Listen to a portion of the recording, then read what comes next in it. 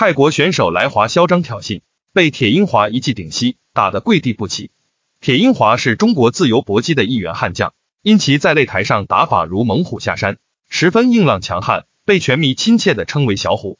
对手是来自泰国的一休，曾经 KO 过世界第一西体猜，获得过泰国职业联赛一百二十二磅十六人赛的总冠军，泰国泰之战六十七公斤级金腰带。泰国伦皮尼全场一百二十八磅金腰带，拥有四条国际金腰带的泰拳王者，在他三百五十场比赛中，仅仅输了二十八场，战败率不到百分之十，可以说是实力非常强劲。以铁英华或一休的身手。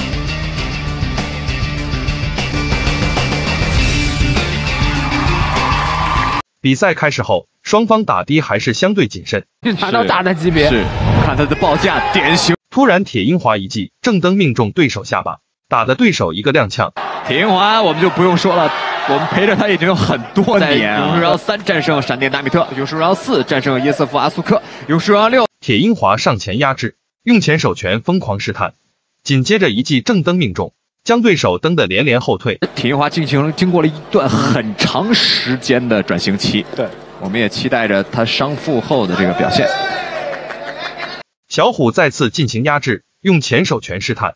反观泰国选手的报价非常严密，突然一休一记低扫，被小虎迅速躲闪过去。手和抗击打能力都非常的不错。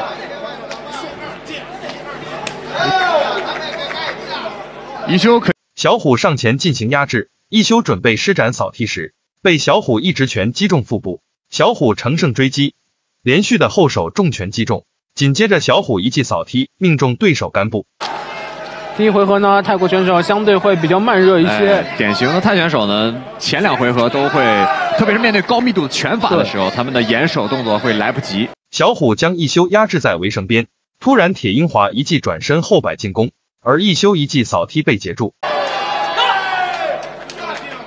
这场比赛跟韩文豹的那场比赛就不一样，韩文豹那场比赛是两个人的。